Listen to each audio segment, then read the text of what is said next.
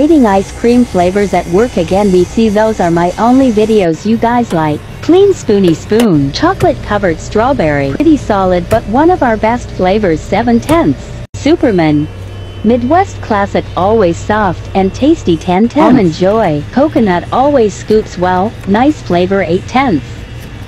Peppermint, weird flavor to me, always rock solid, not a fan to tenths. Orange Sherbet, really soft but kids always want it on a cone Black 5 cherry. Pretty popular, don't mind scooping, sometimes to soft pistachio almond. Underrated flavor TBH, and problematic ASF. We love her Salted 11 caramel pretzel. tasty, but she be hard to scoop sometimes. A love a hate 5 tenths.